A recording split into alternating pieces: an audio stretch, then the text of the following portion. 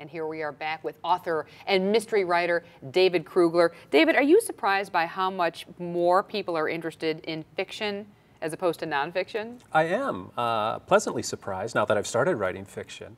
Um, but I always thought that uh, since there were more nonfiction books published every year, that uh, the interest level was higher. But I think people are fascinated when you're able to create this whole story and carry it out and bring it to the page and, and bring it to a satisfying conclusion uh, and do it from your imagination. I think that brings a, a level of interest that um, not there even for dedicated nonfiction readers. How do you stay disciplined? How do you say, you know what, I'm going to write, I'm going to start, and I'm going to keep going and follow it through?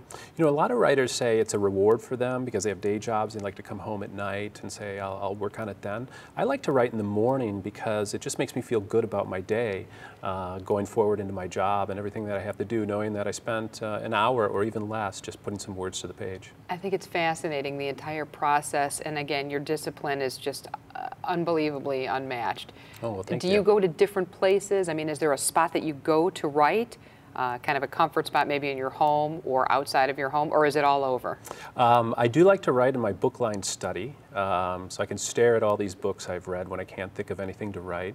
Uh, I write in the kitchen, and I also like to write in public libraries. I like to be surrounded by people who are also book lovers, and of course they're total strangers to me, but uh, I do like working in public libraries, and I get good writing done there. People seem to love a novelist, and is it because they like to make things up?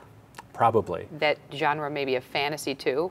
Right, yeah, I think so. As long as you're, you're not making up things about them right. and putting that in the book, uh, then they're all right with the make-believe.